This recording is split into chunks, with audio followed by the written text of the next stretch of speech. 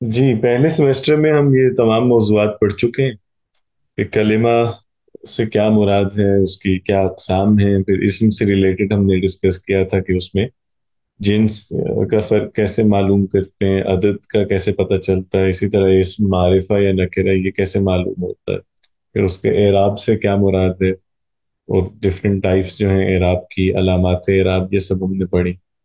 फिर इसी तरह मुरक्कबात में हमने मुरक्कब तोसीफ़ी, इजाफी और इसमें इशारा के साथ जो मुरक्कब आता और हरफ जर के साथ जो इसम आता है ये सब पढ़े। फिर जुमले में इसी तरह दो अकसाम हैं, जुमले इसमी और फेलिया। ये डिस्कस की थी, ज़मायर भी हम पढ़ चुके ज़मायर मुतसिल और मुनफसिल। और फिर वो इस वो हरूफ जिन, जिनकी वजह से मुबतदा का एराब बदलता है, या नस्ब में चला जाता है, वो हमने पढ़े थे। इन्ना जो है। और आखिरी जो टॉपिक हमने मगरब, मबनी और गैर मुनसरिफ का पढ़ा था, यहाँ तक ही हमारी डिस्कशन हुई थी। फेल को हमने स्टार्ट नहीं किया, पिछले सेमेस्टर में। अच्छा ये आप कह रहे हैं कि हमने इसमें फेल क्या होता है डिस्कस कर लिया, और फेल की जो अकसाम है, माजी मुजारे और अम्र, ये भी हम पढ़ चुके हैं। इस पे बात हुई थी हमारी मादे और वज़न पे। जी सर। चलें आप लोगों से भी पूछते हैं।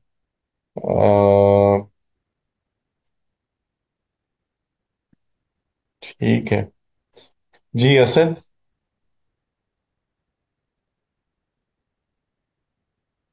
असद हैं असद मसूद?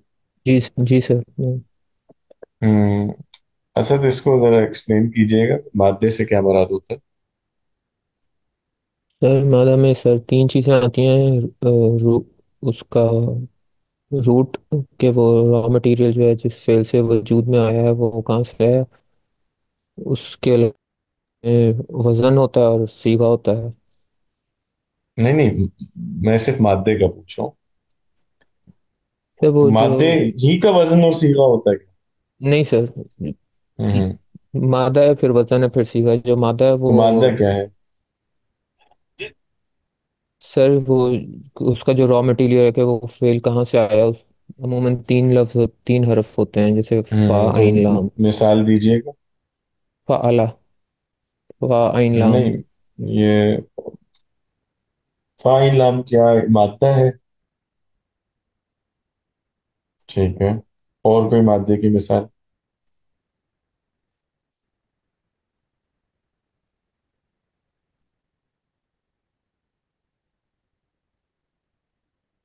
जी जी असद।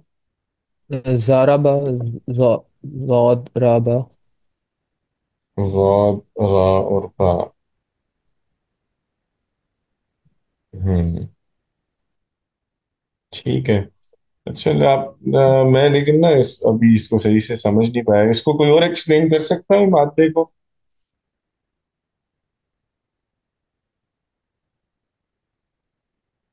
ऐसी तरह एक्सप्लेन करें ना कि जरा क्लियर हो जाए।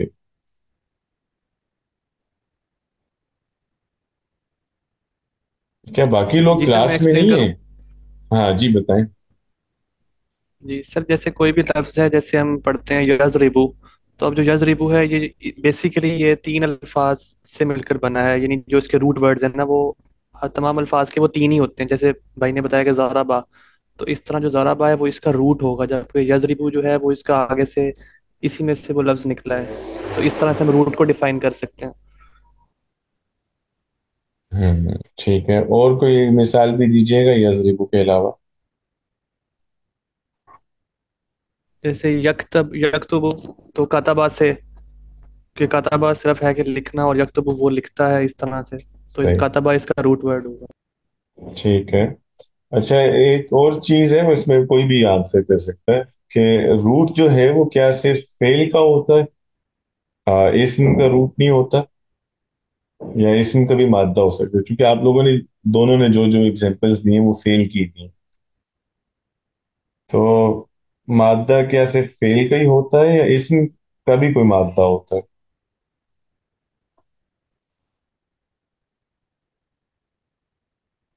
कोई भी बता दे। सर जो इसमें है वो वो वो यानी बजाते खुद वो रूट ही होता है यानी उससे आगे हम जैसे मस्जिद है तो ये मसाजिद हो जाएगा तो इसमें जो रूट है वो ज़रूरी नहीं कि तीन वर्ड्स का हो जबकि फेल में जो है वो मोस्ट ऑफ़ द टाइम्स वो तीन अल्फाज पे ही मुश्तमिल होता है। हम्म, नहीं ये बात टेक्निकली करेक्ट नहीं है क्योंकि मस्जिद का रूट भी बेसिकली मस्जिद रूट खुद नहीं है इसका भी रूट तीन ही हर्फ का है सीम और जीम और दाल से। लेकिन खैर बहरहाल आपके कहने का मकसद ये है कि इसम का भी रूट होता है। जी। हम्म ठीक है। जी और कोई बता सकता है?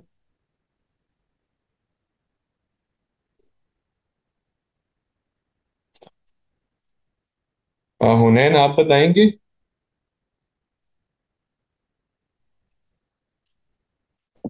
सर थोड़ा सा चीज़ें क्लियर नहीं वो रिवाइज करना पड़ेगा।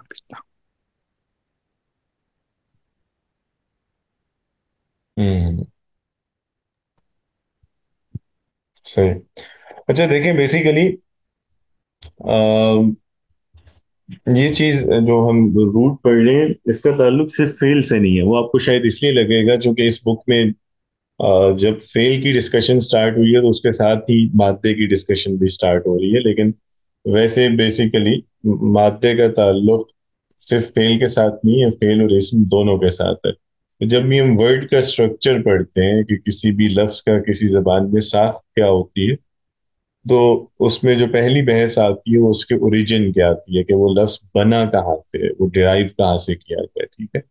तो चाहे इसम हो या फेल इन दोनों का कोई एक रूट होता है। अब रूट जो है बेसिकली ये कॉन्सेप्ट बाकी भी जबानों में है, यानी ऑलमोस्ट हर जबान में।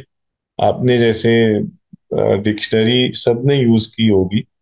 तो अंग्रेज़ी की जो हैं लुगतें उर्दू में तो ये नहीं मिलता, लेकिन इंग्लिश डिक्शनरी जनरली आपने देखा होगा उसमें कि अक्सर आप जब कोई लफ्ज ढूंढ रहे होते हैं या डिक्शनरी देख रहे हैं तो कहीं पे एक अलग से उन्होंने टेबल ये कॉलम बनाया होता है वर्ड फैमिली के नाम से और उसमें मुख्तलिफ़ लफ्ज लिखे हुए होते हैं। हम्म, देखा है आप लोगों ने?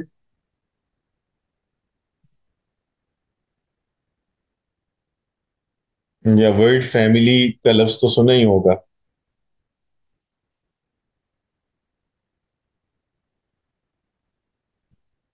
क्या हो गया है? बिल्कुल खामोशी क्यों छाई हुई है आज?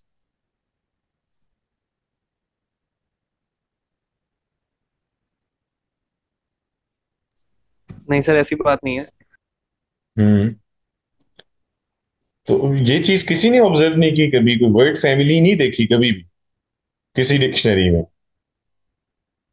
जी सर देखी है वर्ड फैमिली हाँ तो बताए ना वर्ड फैमिली जैसे क्या होती है? कोई एग्ज़ाम्पल इसकी दे सकते हैं? या एग्जांपल ना भी हो चले वैसे बता दे अपने लफ्जों में कि किन अल्फाज को हम कहते हैं कि ये वर्ड फैमिली है? जो सर वर्ड्स में रिपीट हो रहा होता है काफ़ी सारे वर्ड्स में जैसे सर केयर से केयरलेस केयरिंग केयरफुल ये सब एक ही यानी कि केयर से नहीं कर रहा है ना? केयरफुली केयरलेसनेस वगैरह। हाँ। ये फैमिली होती है इंग्लिश के अंदर। हाँ बिल्कुल।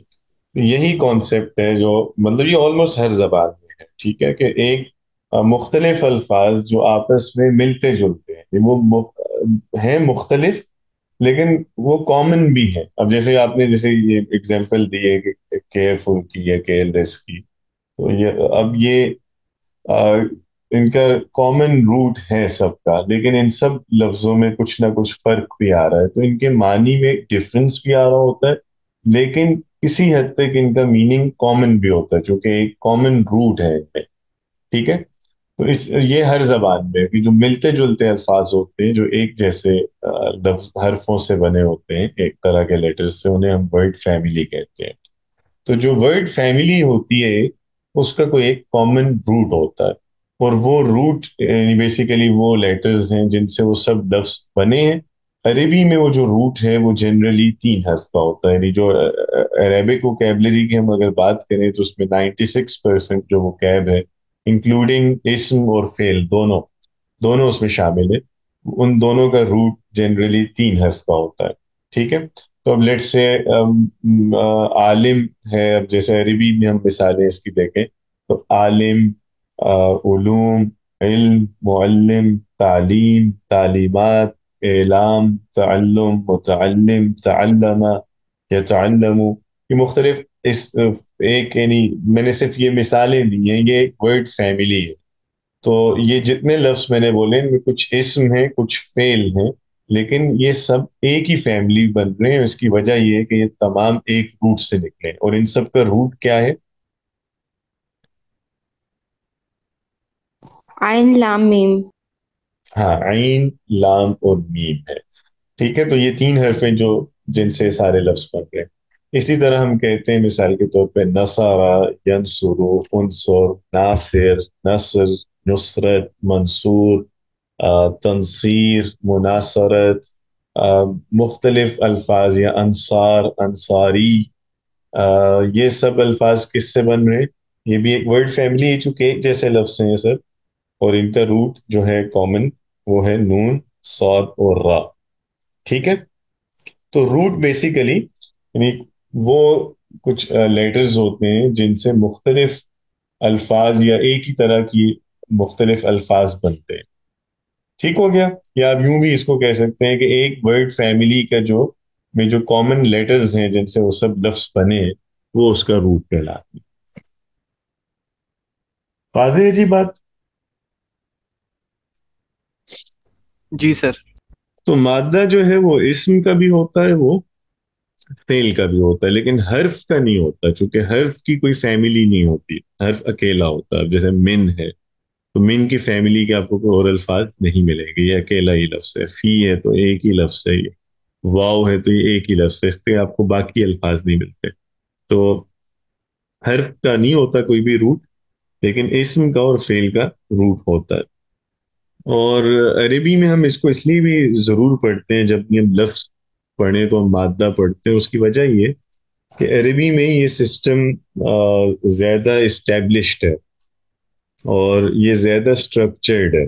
बाकी भी ज़बानों में ये फिनोमिनन तो है एक रूट से मुख्तलिफ़ लफ्स बन रहे होते हैं लेकिन उसमें हर लफ्ज की फैमिली नहीं होती। कई लफ्स हैं जिनकी आ, हमें उस उस फैमिली को और लफ्स नहीं मिलता। लेकिन अरबी में ऐसा नहीं है। अरबी में ये बहुत ज़्यादा स्ट्रक्चर्ड है हर इसम हर फेल कोई ना कोई फैमिली अपनी रखता है। और फिर ये है कि एक वर्ड फैमिली के जितने लफ्ज होते हैं, उनमें कॉमन मीनिंग उनके रूट वाला आ रहा होता है। तो इसी वजह से जो अरेबिक डिक्शनरीज हैं उन को जब कंपाइल किया जाता है और उसमें वर्ड्स को अरेंज करते हैं तो अल्फाज की अरेंजमेंट अरबी लगत में थोड़ी डिफरेंट होती है। उर्दू या अंग्रेज़ी की तरह नहीं होती। ये बात मालूम है आप में से? पहले किसी ने कोई अरबी की लगत देखी है कभी? जी सर, मैंने देखी है। हम्म तो किस तरह से अल्फाज को अरेंज करते हैं वो? सर उसमें जिस तरह से इंग्लिश में अरेंज किए होते हैं उसी सीक्वेंस में अरेंज नहीं किए होते थोड़ा डिफरेंट यानी कि अरेंजमेंट होती है। पहली बार देखने में थोड़ा सा एक ऑड सा लगा था उस तरह की अरेंजमेंट हम्म तो किस बेस पे अरेंज करते हैं हम अल्फाज को? जैसे उर्दू की लुगत है या इंग्लिश की है तो हम तो सिंपली जो कोई लफ्ज किस लेटर से स्टार्ट हो रहा है, वो अल्फाबेटिकली उसको अरेंज कर देंगे कि जो अलिफ से शुरू होने वाले लफ्ज हैं, वो पहले अलिफ के उसमें चैप्टर में आ जाएँगे, जो बे से स्टार्ट हो रहे हैं, वो बे वाले में आ जाएँगे जीम से स्टार्ट जो लफ्ज हो रहा है, वो वो सारे जीम में आए तो यूँ अरेंज करते हैं ना। इंग्लिश में भी इसी तरह जिस लेटर से जो अल्फाज स्टार्ट हो रहे हैं, वो उसी लिस्ट में आ जाते हैं। तो अरबी में ऐसा नहीं है, अरबी में किस तरह फिर अरेंज करते हैं अल्फाज को? सर उसमें जो रूट वर्ड में जो चीज़ें आ रही होती हैं उन वर्ड्स को उसी तरह से अरेंज करते हैं। जैसे आपने एग्जांपल हाँ। दी थी उस तरह से कि आलमा से मुअल्लिम है या तालीम है तो वो सारे वर्ड्स उसी एक उसी जगह पे आ जाते हैं जो उस वर्ड से निकल रहे होते हैं। हाँ अरबी में बेसिकली अल्फाज को अलग अलग अरेंज नहीं किया जाता। बेसिकली जो डिक्शनरी का है उसमें वर्ड्स के बजाय रूट्स को अरेंज किया जाता है। रूट्स लिखी जाती हैं ठीक? तो लेट्स से अगर एक रूट है, मिसाल के तौर पे वही आइन लाम मीम की हम बात कर लें तो आइन लाम मीम के रूट में जितने लफ्ज आइन लाम मीम से बने हैं, वो सब वहाँ एक ही जगह बयान करते हैं कि उसके मानी। तो अब उसमें बहुत से लफ्ज ऐसे होंगे जो स्टार्ट आइन लाम मीम से नहीं हो रहे, लेकिन उनका रूट आइन लाम मीम है तो इसलिए डिक्शनरी में वो आइन की कैटेगरी में प्लेस किया जाएगा। अब जैसे लेट्स तालीम है मिसाल के तौर पे तो तालीम ते से स्टार्ट हो रहा है। मुअल्लिम है तो ये मीम से स्टार्ट हो रहा है। अ, इसी तरह अगर आलाम है तो ये अलिफ से स्टार्ट हो रहा है। आलम भी अलिफ से स्टार्ट हो रहा है। लेकिन ये सारे लफ्ज चूँकि इनका रूट कॉमन है तो अरबी में जब आप लुगत में इनको जाके तलाश करेंगे तो ये लफ्ज आपको आइन की कैटेगरी में मिलेंगे। इन इनको हम चूँकि वहाँ रूट्स को अरेंज करते हैं। मतलब अलिफ में वाले चैप्टर में सिर्फ़ वो रूट्स होंगी जिनका पहला लेटर अलिफ है। बा वाला जो कॉलम है या बा का जो चैप्टर है, उसमें वो रूट्स अरेंज किए जाते हैं जिनका पहला लेटर बा है। यानी उसमें ज़रूरी नहीं है कि वो लफ्स आ रहे हो जिनका पहला हर्फ बा है। वो रूट्स लिखी जाएँगी जिनका पहला हर्फ बा है। आप समझ रहे हैं ना ये वाला फ़र्क जो है? जी सर। हम्म मैं आपको दिखा भी देता हूँ जैसे कोई लुगत खोल के ना। आ, ये टॉप पे आप देख रहे हैं ये ब्रैकेट में तीन लेटर्स हैं जीम मीम लाम। हम्म इसी तरह यहाँ पे ये जो पेज है इसके टॉप पे जीम मीम और आइन आ रहा है। तो ये बेसिकली एक रूट को एक्सप्लेन कर रहा है। अब यहाँ जीम मीम आइन जो है अ, इस, ये एक रूट है और इधर जितने भी लफ्ज जीम मीम आइन के रूट से बने हुए हैं, वो सारे इस जगह लिखे होंगे। तो बेसिकली हम इस वक्त जीम वाले रूट्स को डिस्कस कर रहे हैं। हम ज़रूरी नहीं है कि उन लफ्जों को डिस्कस कर रहे हो जिनका पहला हर्फ जीम है, ठीक है? तो जीम मीम आइन है, उसके बाद नेक्स्ट रूट जीम वाला जो होगा, जिस लेट से जीम मीम लाम है जीम मीम वाओ है जीम मीम या है तो इस तरह से वो रूट्स को एक्सप्लेन करते हैं। अब जैसे ये देखें, ये मैं जीम मीम आइन आपको दिखाता हूँ कि यहाँ जीमी मीम आइन है अब तो इसमें जमा का वर्ड है जम अन का वर्ड है, फिर जामे है, मिजमा, अब ये देखें, मिजमा मीम से स्टार्ट होता है, लेकिन इन्होंने इसको इसी कैटेगरी में, जीम की कैटेगरी में रखा है, चूँकि इसका रूट जीम से ही है स्टार्ट हो रहा है। इसी तरह मजमू मजमू भी मीम से बन हो रहा है शुरू, लेकिन आपको अरेबी लोगत में जीम मीम आइन ही में मिलेगा। ठीक है? इसी तरह आगे भी अब चलते जाएँ तो मुख्तलिफ़ अल्फाज जितने भी इस फूट के हैं, जैसे ये जामा है, जम्मा, इजतमा, इज्तमा अलिफ से स्टार्ट हो रहा है, लेकिन ये जीम की कैटेगरी में तजमा ता से स्टार्ट हो रहा है इस तजमा अलिफ, सीन से स्टार्ट हो रहा है, लेकिन ये, क्योंकि इनके रूट जीम में माइन है तो आपको ये लुगत में इसी जगह पे मिलेगा ये सारे लफ्ज। ठीक है? तो इस तरह से एक्सप्लेन करते हैं। जैसे लेट्स हम यहाँ पे इधर देख लेते हैं। अब ये देखें, ये साइड पे जो इंडेक्स है, इसमें ये जो लेटर्स हैं, ये लेटर्स उन लफ्जों को एक्सप्लेन नहीं कर रहे जो अलिफ से स्टार्ट हो रहा है। अलिफ से मुराद है, वो रूट्स जिनका फ़र्स्ट लेटर अलिफ है, ठीक है? तो अब लेट्स से हम आइन वाला देखते हैं तो आइन में आगे फर्दर आइन बा है। इसमें वो वाले रूट्स होंगे जिनका फ़र्स्ट लेटर आइन है सेकंड लेटर बा है। और फिर थर्ड लेटर डिफरेंट उसमें चलेंगे आइन बा, अलिफ आइन बा बा आइन बा था इस तरह से। और अगर हम इल्म ढूंढना चाहते हैं तो हमें आइन लाम में हम आएँगे। अब आप देख रहे हैं, ये डिफरेंट रूट्स थे ना, जिसका आइन बा आइन था आइन सा, करते करते आइन लाम में हम आएँगे तो आइन लाम में भी हमें फिर ये डिफरेंट रूट्स मिल रहे हैं। पहले आप देखें आइन लाम बा वाला रूट है। अब हमने इल्म देखना है तो हम आइन लाम की कैटेगरी में आगे देखेंगे। यहाँ पे आगे करके कहीं आएगा आइन लाम काफ चल रहा है। अब आइन लाम लाम है इसके बाद आइन लाम मीम आएगा। ये, देखें यहाँ आके स्टार्ट होता है। आइन लाम मीम ठीक है? तो अब ये आइन लाम मीम की कैटेगरी में वो सारे अल्फाज जो इस रूट के हैं वो पूरी फैमिली आपको इधर मिल जाएगी। अब जैसे यहाँ इन्होंने अलीमा का वर्ड भी एक्सप्लेन किया फिर आलम को एक्सप्लेन कर रहे हैं इधर ही। फिर इसी तरह आलमा अब ये वैसे अलिफ से स्टार्ट हो रहा है लफ्ज, लेकिन ये इसी जगह लुगत में लिखा हुआ है, चूँकि इसका रूट आइन है। ठीक है? इसी तरह तलम अब ये भी अलिफ से स्टार्ट हो रहा है तालम ता से स्टार्ट हो रहा है, लेकिन ये आइन की कैटेगरी में है। फिर ये भी तालम भी ता से है इस्तालम अलिफ से है अल इस्तेलामात ये भी अलिफ से स्टार्ट हो रहा है अल अलाम अभी तक ये यहाँ पे अब देख रहे हैं फिर तालीम को एक्सप्लेन कर रहे हैं। आ, फिर तालीमात आलम अब ये सारे वही लफ्ज चल रहे हैं जो आइन लाम मीम से बनते हैं। ठीक है अभी ये आइन लाम मीम ही का रूट एक्सप्लेन हो रहा है।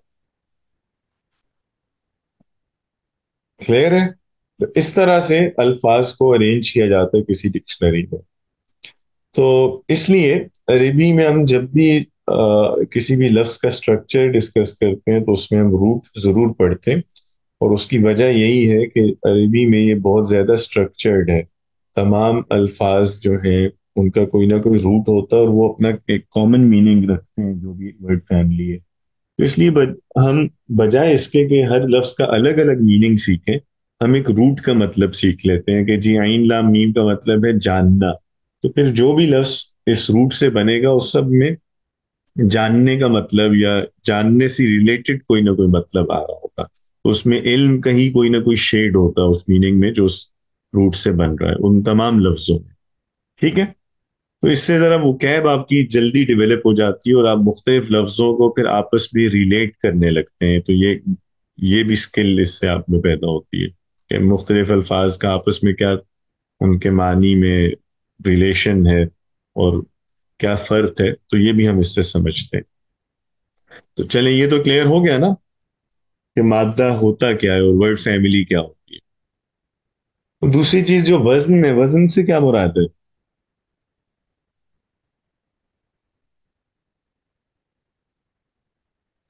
जैसे ज़ारबा यजरिबू, इस तरह से जो उसकी डिफरेंट फॉर्म्स होती हैं।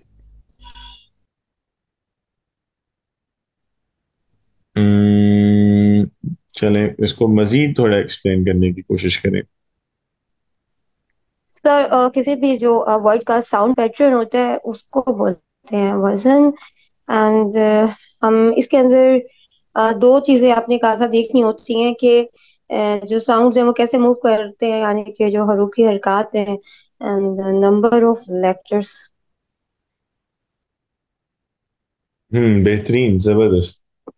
तो ये साउंड पैटर्न है और वही है जिसमें दो चीज़ें जैसे आपने कहा एक ये कि नंबर ऑफ़ लेटर्स और दूसरा ये कि हरकत और सुकून यानी वो जो लेटर्स हैं डिफरेंट उन पे आ, किस लेटर पे हरकत है और हर कौन मतलब किस लेटर पे सुकून है। तो ये दो चीज़ें हैं जिनसे ज़ाहिर बात है किसी भी लफ्ज को कोई वो आवाज़ मिलती है। तो जो साउंड पैटर्न है बेसिकली वही वज़न है। बहुत ज़बरदस्त आपने एक्सप्लेन किया। और इसकी कोई मिसाल दे सकता आप में से? वज़न को एक्सप्लेन करने के लिए कोई एग्जांपल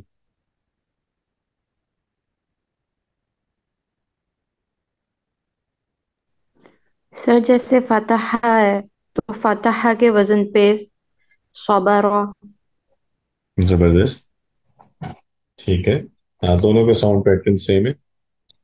चले और आपके अलावा कोई और मिसाल दे इसकी?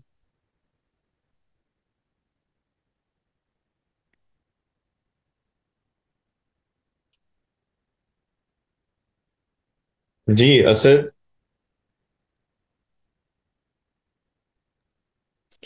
क्या हो गया? आज तो पहली क्लास है हमारी अरेबी की। अभी से आप लोग बिल्कुल खामोश रहने लगे। सर क्या फाला के दिलचस्पी वज़न नहीं के रह गई ऊपर कातबा हम्म हम्म। कहता सर ठीक है। सर सर इंटरेस्ट है। हम्म, चलें अच्छी बात है। आ, जी जहरा और एग्जांपल दीजिएगा कोई? अच्छा आपने कहा फतह और नसारा? या कतबा आपने बोला? हाँ सर ठीक है। जो आम, आलामा आपने वो आ- आलम बोलेंगे कि आ- आइन लाम मीम? हम्म। सर जैसे हाँ। के वज़न नहीं आइन लाम मीम जो है आइन लाम मीम अगर हम कहते हैं तो वो कोई वज़न नहीं है। क्योंकि उसमें देखें ना वो साउंड तो चूँकि उसमें वॉवल्स नहीं आ रहे ना कोई भी हरकत नहीं आ रही तो उसको कोई एक स्पेसिफिक साउंड तो हम दे ही नहीं रहे ना। तो जब हाँ अलमा बोलेंगे या अलीमा बोलेंगे तो देन उनको एक पैटर्न मिलेगा वो एक वज़न कहलाएगा अलीमा होता है वैसे वर्ड सर वो हमें उसको वो प्रोनाउंसिएशन नहीं करना आ रहा था इसीलिए आपको हमने बोला कि अलामा बनता है वर्ड इसीलिए हमने आइन लाम मीम बोल दिया था क्योंकि हमें वो बोलने नहीं आ रहा था लफ्ज ठीक है ठीक है। हाँ बस इससे इस रूट से अलीमा यूज़ करते। हैं जी जी ईमान। युफ़अल के वज़न पर तुअमर बेहतरीन। युफ़अल तो मर। हाँ ये बिल्कुल एक वज़न इनका एक ही साउंड पैटर्न है। जी और? हुनैन आप बताएँ कोई? कोई दो लफ्ज कोई से भी या तीन लफ्ज ऐसे बताएँ जिनका वज़न एक हो साउंड पैटर्न उनके सेम हो।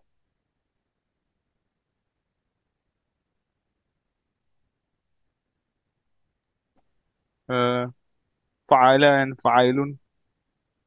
क्या दोबारा बताएँ? सर फ़ाइला हम्म। और फ़ाइलुन। फ़अला फ़ाइलुन इनकी आवाज़ दोनों की क्या आपको जैसी लग रही है? हम्म हम्म। आपको इसलिए आवाज़ आप आवाज़ से मुराद शायद ये ले रहे हैं कि दोनों में फे और आइन और लाम की आवाज़ें आ रही लेकिन इन हम्म। दोनों का साउंड पैटर्न एक नहीं है। हम जब कह रहे हैं कि साउंड पैटर्न सिमिलर हो तो हम ये नहीं कह रहे कि उनके हरूफ सिमिलर हो। यानी दोनों में फे आ रहा हो या आइन आ रहा हो या लाम आ रहा हो, वो तो रूट दोनों का एक होगा ना। फ़ाला और फ़ाइल का रूट एक है कि लेटर्स कॉमन है। आवाज़ का जो वे है या जो साउंड है, वो कॉमन नहीं है। क्योंकि फ़ाला मतलब इन दोनों का अगर आप थोड़ा सा गा के बोले तो आपको पता चलेगा कि इन दोनों में डिफरेंस है। फ़ाइल को बोलने में ज़्यादा वक्त लगेगा फ़ाला को आप जल्दी बोल लेंगे। फ़ाला फ़ाइलुन इस दोनों में फ़र्क है सेम नहीं है इनका वज़न सेम वज़न है जैसे पहले वाली मिसाल आई मिसाल के तौर पे सबारा नसारा ये एक ही इसकी वज़न की मिसाल है या जैसे ईमान ने बताया था कि युफ अलू यो मरू इनका भी अब देखें आवाज़ एक जैसी मेरी ठीक है रिदम उसमें टूट नहीं रहा इसी तरह के मैं इसको बोलूँ फ़ाला फ़ाइलुन अब देख लें दोनों डिफरेंट है। हाँ फ़ाला नसारा इधर साउंड पैटर्न सिमिलर है। आप समझ रहे हैं बात? हम्म हम्म। तो अब कोई से भी दो लफ्ज बताएँ आप चाहे उर्दू के लफ्ज बता दें जिनमें साउंड पैटर्न एक हो वज़न एक हो। जी कौन बोल रहा था आप में से? सर मैं बात कर रही हूँ फ़ाइलुन के वज़न पे जैसे समीउन बसीरुन हम्म समीउन बसीरुन फ़ईलुन बिल्कुल ठीक है एक ही वज़न है। ठीक है जी हुनैन।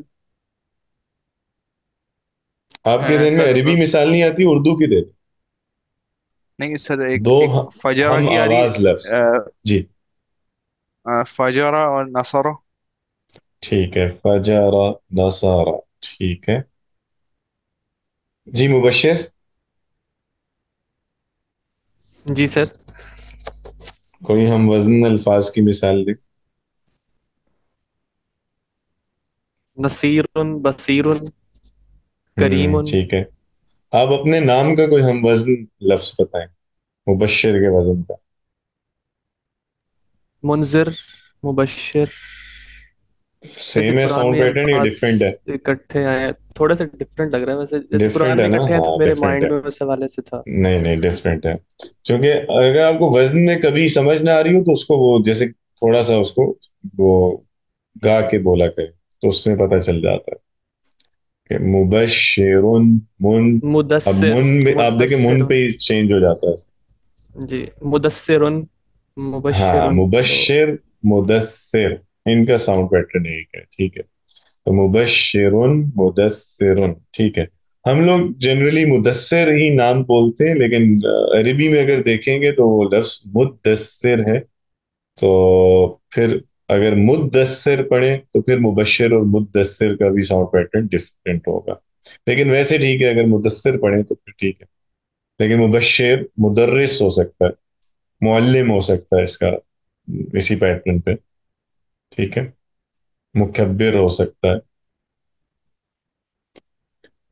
जी राबिया कोई हम वज़न लफ्स बताएँ आप?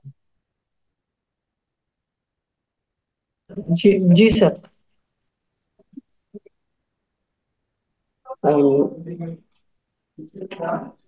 जराबा हम्म।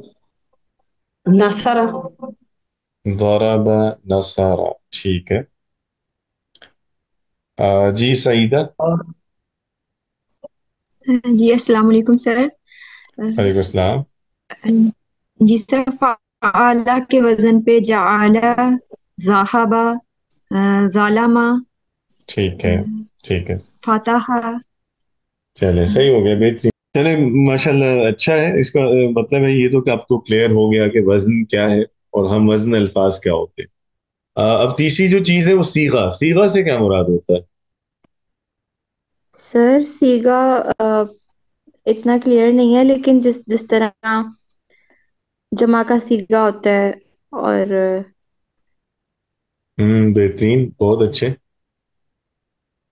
जमा का सीगा होता है इसी तरह वाहिद का सीगा होता है तस्निया का सीगा होता है मुजक्कर का सीगा होता है मुअन्नस का सीगा होता है। तो सीगा इसका मतलब है कि सर किसी भी लफ्ज़ की रिफाइंड फॉर्म जो किसी भी स्पेसिफिक यस काम के लिए इस्तेमाल होती है। बेहतरीन यही है। यानी किसी लफ्ज की कोई स्पेसिफिक फॉर्म है जो कि स्पेसिफिक पर्पस के लिए यूज़ होती है कोई स्पेसिफिक मीनिंग देती है ठीक है? कोई पर्टिकुलर मीनिंग है उसका। जैसे आ, वही मुजक्कर का सीगा है जो स्पेसिफिकली किसी मुजक्कर इसम को डिनोट कर रहा है। मुअन्नस का सीगा है जो किसी मुअन्नस शय के लिए बोला जा रहा है, ठीक है? इसी तरह हम वाहिद का सीगा बोलते हैं तो उससे मुराद है स्पेसिफिकली वो इस्म जो वाहिद को डिनोट कर रहा है। तो आप समझ रहे हैं? तो सीगा जो है, वो किसी भी लफ्ज की एक फॉर्म है डिटेल्ड फॉर्म जो किसी स्पेसिफिक पर्पस के लिए इस्तेमाल की जाती है, ठीक है? तो आसान लफ्जों में सीगा शक्ल को कहते हैं फॉर्म को, शक्ल ठीक है जी। जैसे आजकल की अरेबी में एक वर्ड बहुत इस्तेमाल होता है, सियागा। अगर आप कोई अक्सर चीज़ें, यानी कोई अगर प्रोडक्ट वगैरह आप खरीदें या मशीनरी जो दुबई वगैरह से होके आई, आए हो, अरबी उस पर लिखी हो तो आपको अक्सर सियागा का वर्ड मिलेगा। तो सियागा का मतलब होता है मॉडल तो सियागा डिज़ाइन के लिए या मॉडल के लिए यूज़ होता है तो ये वर्ड इसी से, सीगा से है। ठीक है?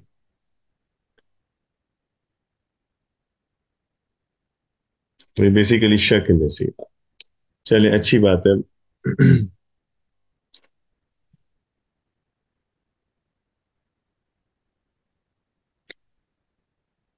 हम्म। अच्छा इस पे हमारी बात हुई है आगे क्या? कि ये जो नीचे इन्होंने लिखा हुआ है, फ़अला, फ़ईला और फ़ऊला। ये फ़ाइन लाम क्यों लिखा हुआ है? फ़ाइन लाम का क्या मतलब है? सर, ये इसका रूट वर्ड है। फाला का हम्म, नहीं यहाँ वो रूट के लिए नहीं लिखा गया। अच्छा चले मैं इससे हट इससे हट के एक और सवाल करता हूँ। ये बताइएगा जैसे अभी ह- हम लोग इस पे बात कर रहे थे मैं आपसे पूछ रहा था कि कोई भी हम वज़न लफ्ज बताएँ तो आपने मुख्तलिफ़ लफ्ज बताए। जैसे मु- मुबश्शिर और हम मुअल्लिम और अ, हमने कहा कि हम वज़न है। इसी तरह जालिम है और कातिल है, ये हम वज़न है, ठीक है? मंसूर है, मकतूब है, हम वज़न है। तो मुख्तलिफ़ लफ्ज, हम वज़न है, उनका वज़न एक जैसा, उनकी आवाज़ें एक जैसी हैं। ये तो हमें बोल के पता चल जाता है। लेकिन अगर मुझे किसी लफ्ज का वज़न लिखना हो या किसी को बताना हो तो जैसे हमने ये कहा कि मुबश्शिर और मुअल्लिम और मुदर्रिस इनका वज़न एक है।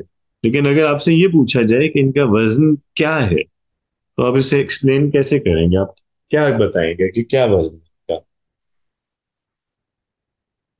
हम्म तो वज़न को लिखने या बोलने का तरीका क्या होता है? किसी भी लफ्ज का वज़न बताते कैसे? इसका आइडिया है किसी को?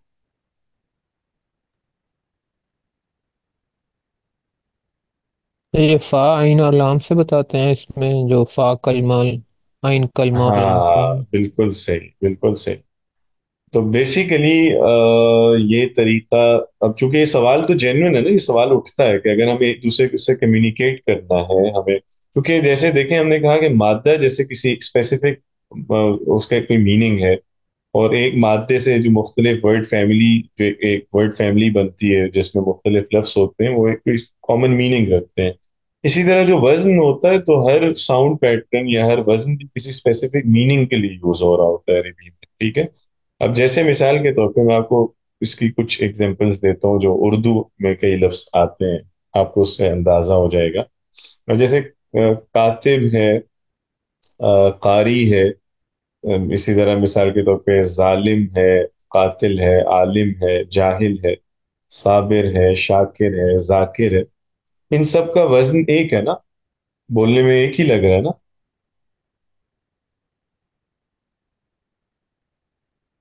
जी सर। एक ही है। और इनके मानी भी एक होगा। जब वज़न एक होगा किसी लफ्ज का कुछ लफ्जों का वज़न एक है तो मानी में भी कुछ ना कुछ कॉमन आएगा। इनके इनमें क्या है मानी? या क्या चीज़ मानी में कॉमन है?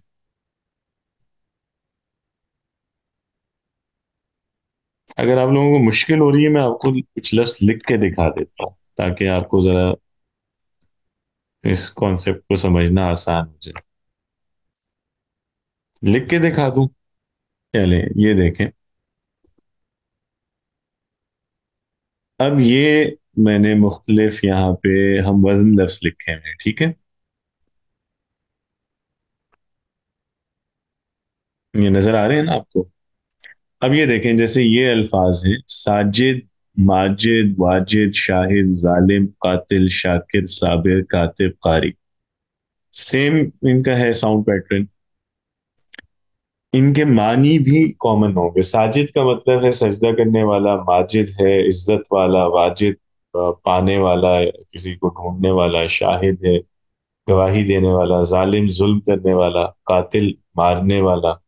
इसी तरह शाकिर शुक्र करने वाला साबिर सब्र करने वाला कातिब है लिखने वाला और कारी है पढ़ने वाला। तो इस साउंड पैटर्न में या इस वज़न में क्या मानी आ रहा है? इन सब लफ्जों में हाँ यस करने वाला। तो इस वज़न में पे जितने लफ्ज आ रहे हैं इस तरह के साउंड पैटर्न पे उनमें करने वाले का माना है। इसी तरह ये देखें, नीचे मसजूद, मौजूद, मशहूद, मजलूम, मकतूल, मशहूर, मकतूब मकरू साउंड पैटर्न सिमिलर है ना? आवाज़ एक जैसी है। इनके मानी भी फिर एक जैसा होगा। मसजूद है, जिसको सजदा किया जाए, मौजूद जो चीज़ पाई जाए, मशहूद जिसको देखा जाए, मजलूम जिस पर जुल्म किया जाए, मकतूल जिसको मारा जाए, मशहूर जिसका शुक्र अदा किया जाए, मकतूब जो चीज़ लिखी जाए मकरू जो चीज़ पढ़ी जाए। तो इन लफ्जों में क्या कॉमन है मीनिंग किया जाए। किया जाए।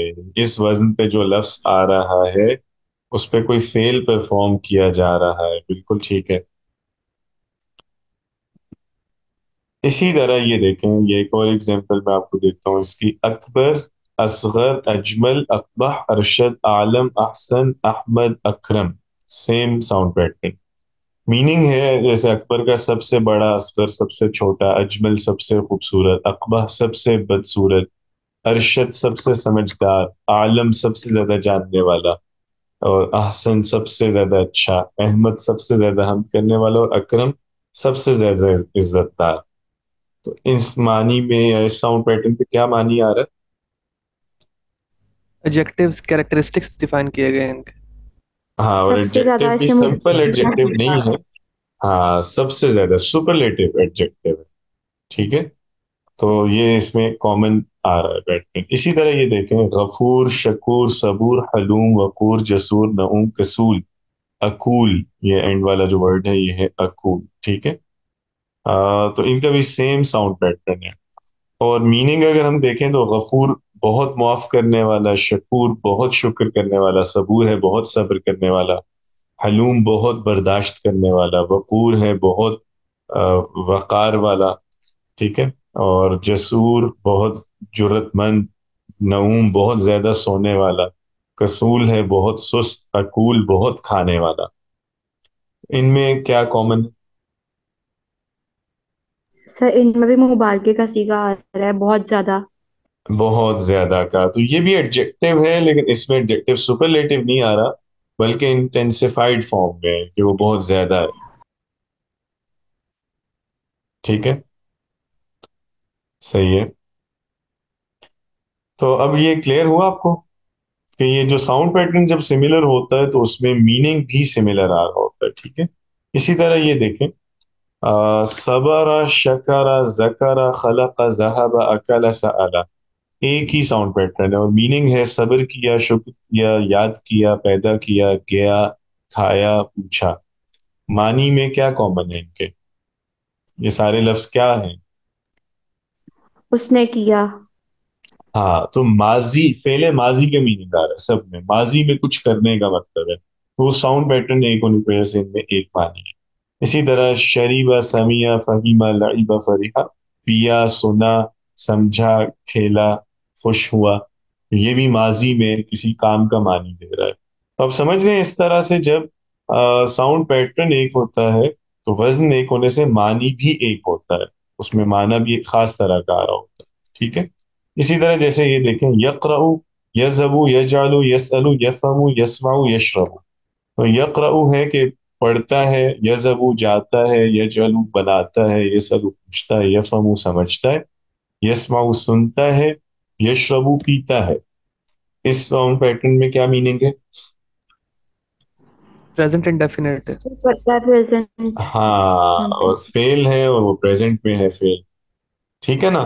तो अब आप देख रहे हैं कि हर साउंड पैटर्न जो है वो किसी स्पेसिफिक मीनिंग के लिए इस्तेमाल हो रहा होता है। क्लियर है ये बात? तो जैसे हमने कहा कि एक जो रूट है रूट का मीनिंग है कोई स्पेसिफिक और उस रूट से जो वर्ड फैमिली बनती है उन सब में वो मीनिंग हमें रिफ्लेक्ट होता नज़र आता है। इसी तरह अरेबिक में जो मुख्तलिफ़ वज़न होते हैं या साउंड पैटर्न्स हैं तो हर वज़न का भी एक स्पेसिफिक मीनिंग होता है। तो अगर आपको मादे का मतलब पता हो और ये पता हो कि अरेबी में कौन सा वज़न किस मानी के लिए इस्तेमाल होता है तो आप बहुत हद तक आपको अल्फाज के मानी खुद से मालूम हो जाते हैं आपकी वो कैब बहुत बढ़ जाती है ठीक है? इसलिए हमें ये जानना ज़रूरी है कि अरबी में कौन सा वज़न किस मकसद के लिए आता है और अरबी में असमा के कितने वज़न है, फेल के कितने वज़न है? तो लेकिन अब सवाल फिर वही उठता है कि इस सब के लिए हमें वज़न को कोई तरीका तो होना चाहिए ना कि हम ये सारे लफ्जों को हम क्या कहेंगे कि इनका वज़न क्या है? तो कम्युनिकेट करने के लिए वज़न को लिखने का, बोलने का कोई तरीका हमें डेवलप करना है। आ, आपका असद का मेरा ख्याल है कोई सवाल था? तो आप सवाल कर लें फिर मैं आगे बात करूँ जी सर मेरा क्वेश्चन था कि ऊपर जिस एग्जांपल में एंड पे कारी आ रहा था काइंडली आप स्क्रॉल अप कीजिएगा। हम्म, ये वाला जी? जिस एग्जांपल में एंड पे कारी था। हाँ जी। जी जी ये वाला जैसे कारी।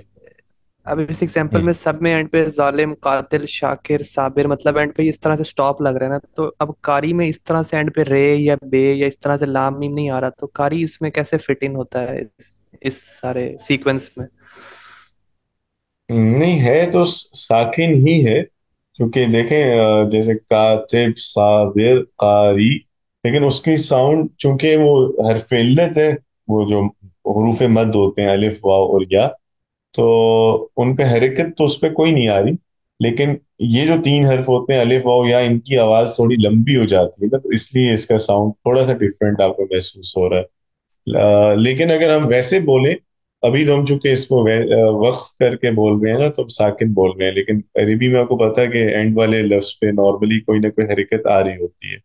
तो अगर हम लेट से इनको पेश के साथ बोलें तो फिर ये सारे लफ्ज एक जैसे आपको लगेंगे जैसे साजिदुन माजिदुन वाजिदुन शाहिदुन इसी तरह। एंड पे कातिबुन कारिउन फिर इसको या नहीं बोलेंगे फिर हमजा के साथ बोलेंगे। तो उसमें फिर आपको बिल्कुल इसका वज़न एक जैसा लगेगा कातिबुन कारिउन। ठीक है? जी ठीक है जजाकल्लाह सर।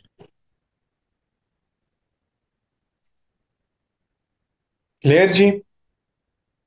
हाँ तो अब उस वाली बात पे चलते हैं कि वो जो, कि वज़न हम किसी लफ्ज का बताते कैसे हैं या वज़न को लिखा कैसे जाता है तो उसको रिकॉर्ड करने का क्या तरीका है? ठीक है? तो इसमें अभी आप में से किसी ने बताया भी था कि फा आइन लाम बेसिकली चूँकि हमें ये पता है कि वज जो रूट होता है किसी भी लफ्ज का, वो जनरली होता है तीन हर्फ का। और अगर हम मुख्तलिफ़ लफ्जों को देखें तो अल्फाज जो हैं वो मिनिमम जो अरबी में इसम या फेल आता है वो तीन हर्फ का ही आ रहा होता है। तो इसका मतलब है बहुत से तो लफ्स ऐसे हैं जिनमें सिर्फ़ रूट के लेटर्स होते हैं, उनमें कोई एक्स्ट्रा हर्फ नहीं आ रहा होता। जैसे ये सबरा शकरा जकरा खलका में अगर देखें तो सिर्फ़ रूट के ही लेटर्स हैं, तीन लेटर्स ही। लेकिन जो बड़े लफ्स होते हैं, जैसे चार हर्फ का कोई लफ्स है, पाँच हर्फ का लफ्स है, छह हर्फ का है या सात का तो उनमें रूट के अलावा भी तो कोई हर्फ आ रहा होता है ना? तो जो मुख्तलिफ़ अल्फाज हैं, वो इस तरह उनके हरूफ की डिवीज़न हो जाती है। जो रूट के हरूफ होते हैं, उनको हम कहते हैं हरूफ असली। और जो रूट के अलावा कोई हर्फ ऐड हुआ होता है किसी लफ्स में, उसको कहते हैं हरूफ जायदा, या उसको जायद हर्फ कहते हैं, ठीक है? तो हम यूँ कह सकते हैं कि मुख्तलिफ़ अल्फाज जो है हरूफ असली और हरूफ जायद पे मुश्तमिल होते हैं। मैं आपको इसकी मिसाल देता हूँ जैसे इल्म है। इल्म का रूट है आइन लाम मीम। तो ये तीन लेटर्स हैं। इल्म का जो अपना लफ्स है इस लफ्स में सारे हरूफ असली हैं। इसमें सिर्फ़ रूट के तीनों लेटर्स आ रहे हैं। इसी तरह अलीमा का जो लफ्स है अलीमा में भी सिर्फ़ असली हरूफ है यानी सिर्फ़ रूट के हरूफ हैं कोई एक्स्ट्रा है नहीं आ रहा। आ, इसी तरह हम बोलते हैं अलम जो झंडा होता है। या इसमें अलम में जो अलम बोलते हैं तो अलम के अंदर भी कोई जायद हर्फ नहीं है, सिर्फ़ असली हरूफ है। हाँ लेकिन अगर मैं बोलूँ आलिम तो आलिम में एक हर्फ जायद आ गया है, जो रूट के अलावा है। तो आलिम में अलिफ रूट में नहीं है ना, वो जायद है। तो हम कहेंगे आलिम में अन लामीम असली हरूफ है अलिफ हरफ जायद कहलाएगा, यानी एक्स्ट्रा हर्फ कहलाएगा, ठीक है? इसी तरह उलूम का जो लफ्ज है इसमें भी एक हर्फ जायद है। उलूम में कौन सा हर्फ जायद है? वाओ। वाओ जायद है। इसी तरह अलीम है। अलीम में कौन सा हर्फ जायद होगा? ये। ये। ये जायद है ठीक है। फिर हम बोलते हैं आलम जैसे हम कहते हैं वल्लाहु आलम। तो आलम में कौन सा हर्फ जायद है जो रूट के अलावा है? अलिफ। अलिफ आ रहा है स्टार्ट में वो जायद है फिर तालीम तालीम में कितने हर्फ जायद है दो ते और ये। दो ते और ये ठीक है? ते जो स्टार्ट में आ रहा है और ये जो सेकंड लास्ट है ये दोनों हर्फ इसमें जायद आ रहे हैं। फिर इसी तरह हम बोलते हैं मुतअल्लिम मुतअल्लिम होता है सीखने वाला। तालिब इल्म यानी। तो मुतअल्लिम में कितने हर्फ जायद हैं दो। मीम और ते। मीम और ते। मुअल्लिम में मीम सिर्फ़ ठीक है? मीम। हाँ तो इसी तरह अब मुख्तलिफ़ जो अल्फाज होते हैं वो आप समझ गए कि उनमें वो मजमुआ होते हैं हरूफ असली और हरूफ जायद के। जो छोटा लफ्ज है तीन हर्फ का उसमें तो सारे हर्फ असली होते हैं लेकिन जो जो लफ्ज बड़ा होता चला जाता है तो उसमें कुछ जायद हर्फ ऐड होते जाते हैं ठीक है? अब ये फिनोमिनन जो है ये ग्रामेरियंस ने नोट किया अल्फाज को देखते हुए या उनके स्ट्रक्चर पर गौर करते हुए कि मुख्तलिफ़ अल्फाज हरूफ असली और जायद से मिलके बनते हैं। अब इसलिए जब वज़न किसी लफ्ज का नोट करना है तो उसके लिए फिर उन्होंने ये तरीका रखा है कि जो हरूफ असली हैं, वो तो तीन हर्फ होते हैं आमतौर पर तो उनके लिए किसी भी लफ्ज का अगर हमें वज़न लिखना है तो उसका फिर तरीका ये होगा कि हम जो हरूफ असली हैं, उनके लिए हम तीन हर्फ लिखेंगे एज अ सिंबल तो किसी भी लफ्ज का अगर आपको रूट लिखना है तो उसके लिए सिंबॉलिकली हम फा आइन लाम ये तीन हर्फ उन्होंने चुने। तो ये हरूफ असली की जगह लिखे जाते हैं। किसी भी लफ्ज का जब वज़न नोट करना है तो आप उसमें हरूफ असली की जगह फा आइन और लाम ये तीन हर्फ प्लेस करेंगे। और जो आ, उन अल्फाज पे हरकत हैं वो एज इट इज़ फा आइन लाम पे लिख देंगे ठीक है? मैं आपको मिसाल के साथ समझाता हूँ, क्योंकि इसको थोड़ा सा वैसे समझना सुन के ज़रा मुश्किल है। अब ये देखें, ये सबारा, शकारा और इसी तरह जकारा, ये सारे हम देख चुके हैं कि एक ही वज़न है। इनका अगर मैंने वज़न लिखना होगा कि इनका वज़न क्या है तो ये तो तीन हर्फ के लफ्ज है ना, तीन हर्फ वाले में तो आपको पता है कि कोई भी जायद हर्फ नहीं होता, तीनों हर्फ असली होते हैं। असली हर्फ जब हमें वज़न में लिखना है तो हम हमेशा उसके लिए अलामत के तौर पे कौन से तीन हर्फ लिखेंगे? फा आइन और लाम। तो फा जो है वो रूट का फ़र्स्ट लेटर होता है आइन सेकंड और लाम थर्ड।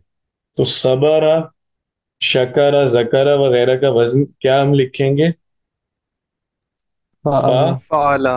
ठीक है। फा फा आ ला क्योंकि तीनों हरफों में जबर है तो फ़ाअला भी हम जो लिख रहे हैं तो इसमें भी तीनों पे जबर। अब ये जो वज़न में फा आइन लाम है इसका कोई मतलब नहीं है। ये जस्ट सिंबल है। फा रिप्रेजेंट कर रहा है रूट के पहले हर्फ को, आइन दूसरे को, लाम तीसरे को। ठीक है? तो ये सिंबॉलिक है जस्ट ये हम फा आइन लाम, जब भी हम किसी वज़न में देखेंगे तो इसका मतलब है हरूफ असली। तो जैसे अलिफ, बे और जीम इस्तेमाल कर सकते हैं। जैसे हम अलजबरा पढ़ते हैं या मुख्तलिफ़ इक्वेशंस जब हम पढ़ते हैं मैथ में तो हम symbolically x y z use कर रहे हैं ए बी सी यूज़ कर रहे हैं। तो इसी तरह ये फा इन लाम भी जस्ट एक सिंबल है ठीक है?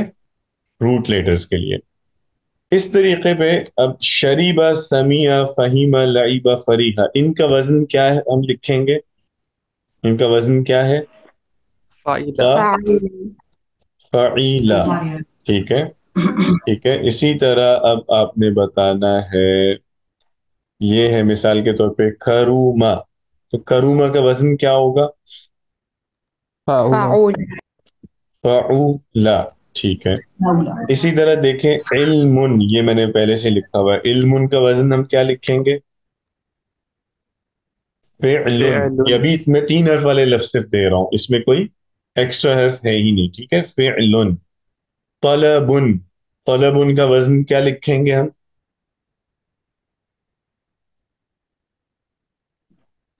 तलबुन का वज़न फाल ठीक है? तो जो हरकत किसी लफ्ज में होती है वो एज इट इज़ उसके हम तो वो हरकत एज इट इज़ लिख देते हैं जो जो हरकत है वो काफ़ी लिखेंगे इसको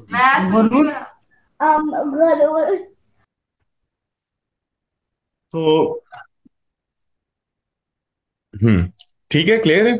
इसी तरह ये देखें सब्रुन तो सब्रुन का वज़न क्या है? फालुन ठीक है? क्लियर होगी ये बात? अब अगर शद आ रही है किसी हर्फ पे तो वो भी वज़न पे एज इट इज़ आएगी। अल्लमा।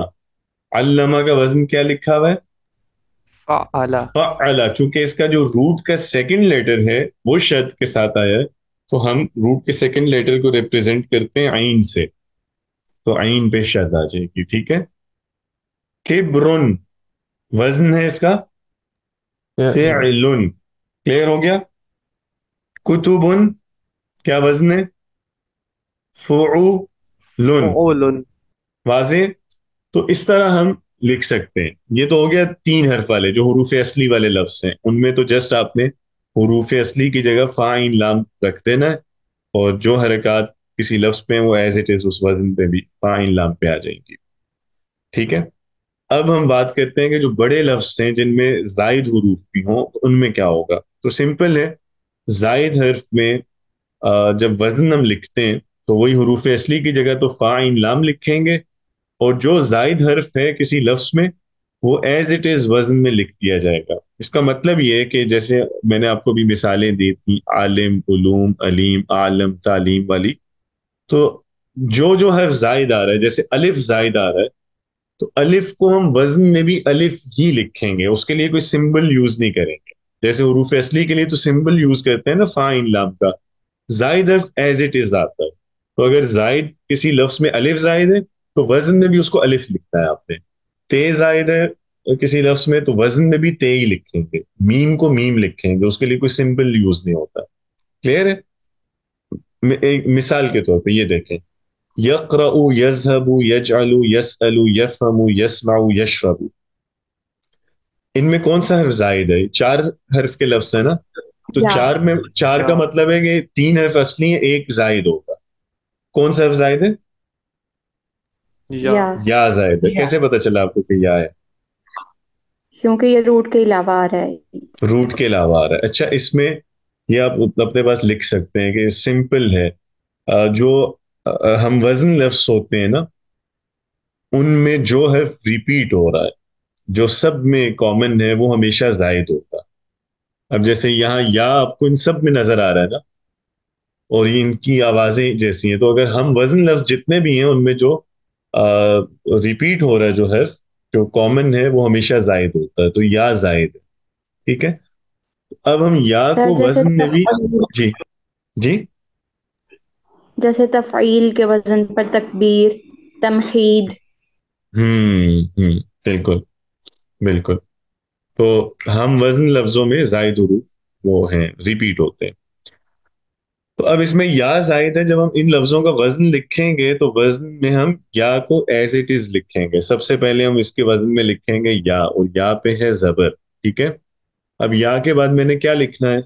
कौन सा हर्फ आएगा? रूट का पहला हर्फ तो रूट के पहले हर्फ के लिए हम सिंपल यूज़ करते हैं किसका? फा। हाँ फा। फा पे हरकत क्या है? साकिन।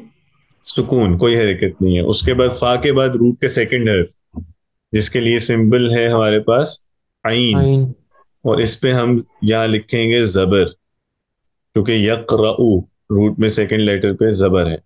और फिर उसके बाद रूट के जो थर्ड लेटर है उसके लिए लाम है और लाम पे हम लिखेंगे पेश। तो इस तरीके से यकरऊ यजबू यजअलू यसअलू यफहमू यस्माऊ यशरबू का वज़न क्या कहलाएगा कि ये यफ अलू का वज़न ठीक है इस वज़न का नाम हम रखेंगे यफ अलू क्लियर हो गया? जी सर। वाजे ये? चलिए अब मैं और मिसालें आपको देता हूँ जरा बड़ी। और जैसे ये देखें गफूर शकूर सबूर हलूम वकूर जसूर नऊम कसूर अकुल। इसमें कौन सा हर्फ रिपीट हो रहा है जी जो जायद है?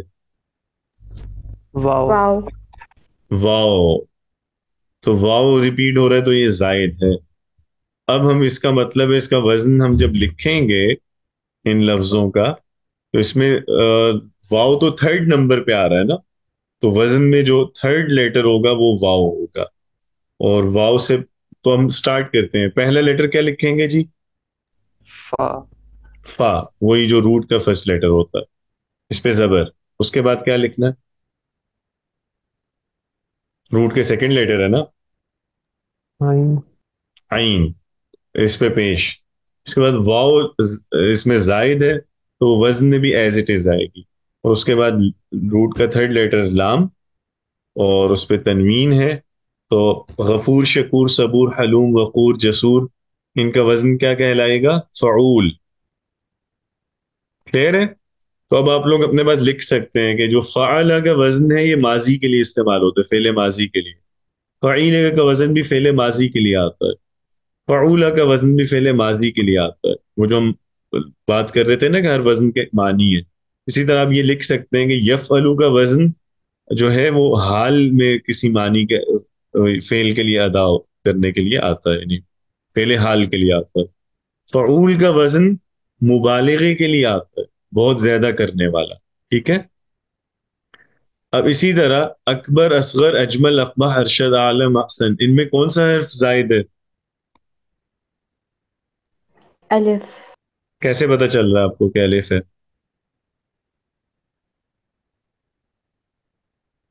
अ, क्योंकि सर ये कॉमन है। कॉमन है ना सिंपल है। तो इसका हम हाँ जब वज़न में लिखेंगे कॉमन तो जो सब हाँ बिल्कुल।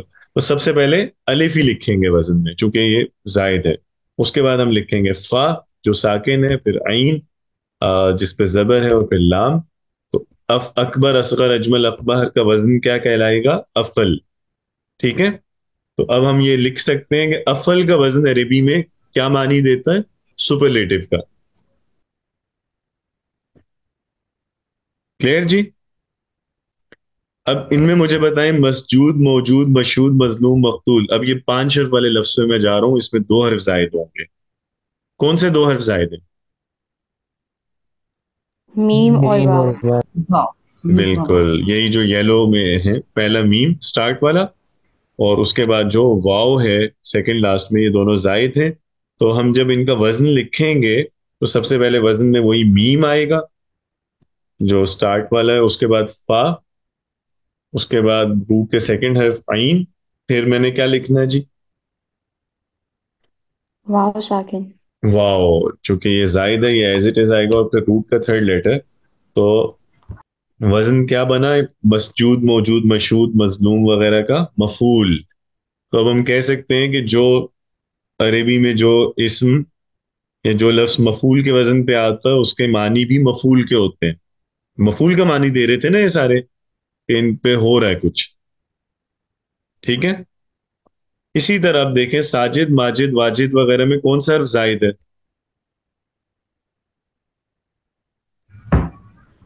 अलिफ अलिफ जायद है।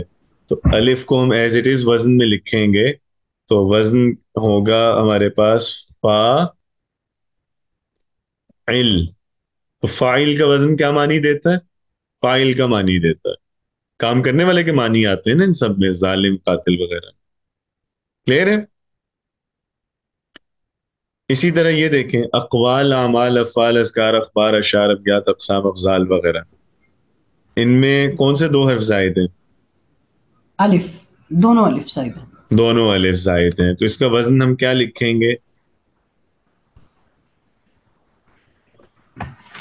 अफ आ अफाल अफ यस अफ स्टार्ट में वही अलिफ आएगा। अफ। आइन और अलिफ। आइन और फिर अलिफ आएगा और फिर अफाल। अफाल का वज़न आता है जमा के लिए।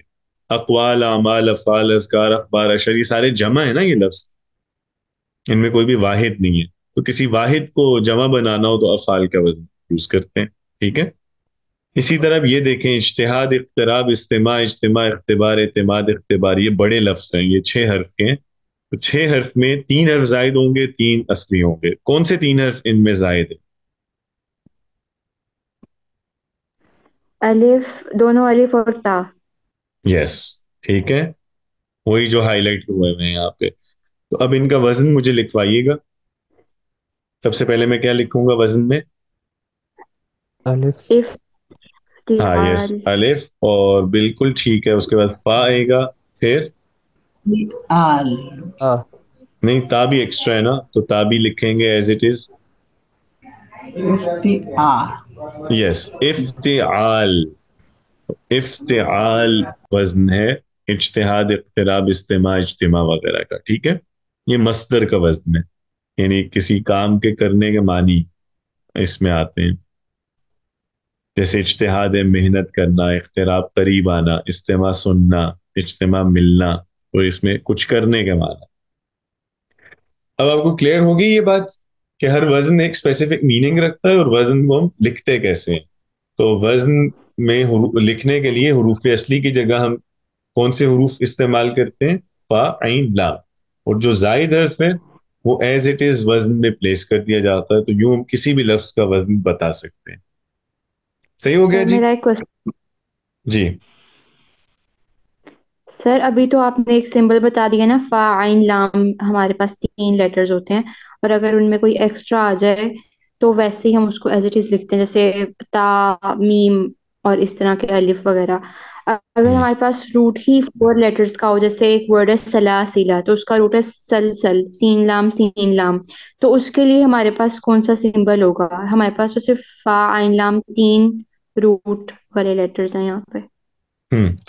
उसके लिए अगर जैसे कोई ऐसा लफ्ज है जिसका रूट ही चार हर्फ का है उसके लिए फिर हम ये तरीका करते हैं कि जो रूट का फ़र्स्ट लेटर है उसको फाई लिखते हैं सेकंड लेटर को आइन लिखते हैं, लाम को आइन लिख, वो थर्ड लेटर के लिए लाम ही लिखते हैं और फोर्थ लेटर के लिए एक अगेन एक सेकेंड लाम यूज़ होता है। ठीक है? तो फ़अलल ये यूज़ इस तरह यूज़ किया जाता है। चार हर्फ का अगर रूट है तो उसमें लाम दो दफ़ा आएगा। जो पहला लाम है, वो तीसरे हर्फ को रिप्रेजेंट कर रहा है और दूसरा लाम चौथे हर्फ को रिप्रेजेंट कर रहा है। तो इसको लाम उला और लाम सानिया कहते हैं। ठीक है? तो लाम उला थर्ड लेटर है। लाम सानिया फोर्थ लेटर है। और फा फ़र्स्ट लेटर आइन कलेमा जो है वो सेकंड लेटर ठीक है? तो फिर मिसाल के तौर तो इसका वज़न फ़ालिला होगा। फालिल होगा बिल्कुल बिल्कुल। जैसे हम ले लेते हैं इसकी मिसालें जैसे जलजला बासरा दहरजा ठीक है? मिसाल के तौर पे। आ, तो इसी तरह जह जहा जकजका इसी तरह है खरखरा थरथरा इनका वज़न क्या लिखेंगे इन सब का?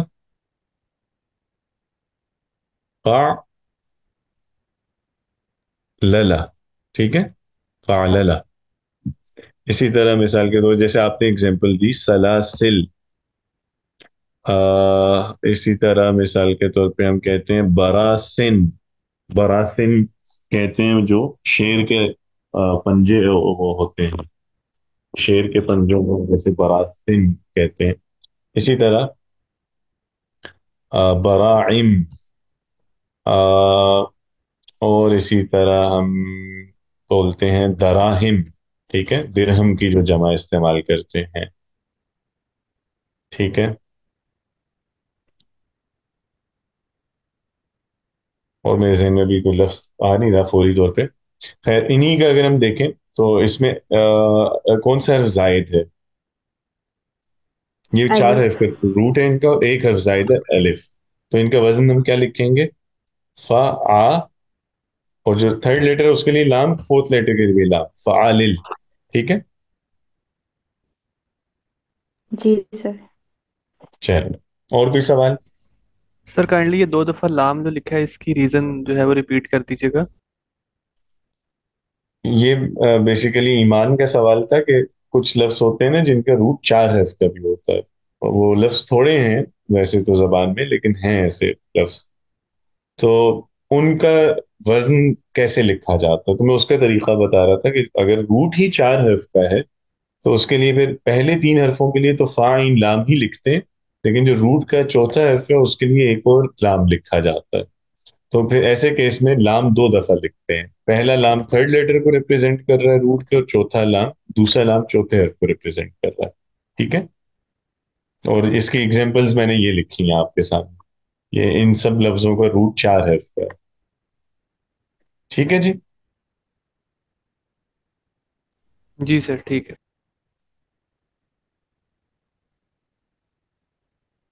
हम्म। चले अच्छी बात है। अब बस इंशाल्लाह इसके बाद हम नेक्स्ट क्लास में स्टार्ट करेंगे फेल के वज़न। चूँकि हमें जब ये पता चल गया है कि हर अ, काम के लिए अरबी में कोई स्पेसिफिक वज़न होता है तो अब हम यही सीखेंगे कि फेल से स्टार्ट करेंगे कि फेल अरबी में कौन कौन से वज़न पे आता है। उसकी फेल की वजह ये है कि इसम के वज़न बहुत ज़्यादा है वो सीखना मुश्किल है। तो हम फेल के थोड़े हैं निस्बतन तो वो हम याद कर सकते हैं। ठीक है? तो वो आप याद कर लेंगे तो आप फेल और इसम को आसानी से फिर में फ़र्क कर सकेंगे, इंशाल्लाह। बेहतर फिर इनशाला अगले हफ़्ते मिलते हैं। अस्सलाम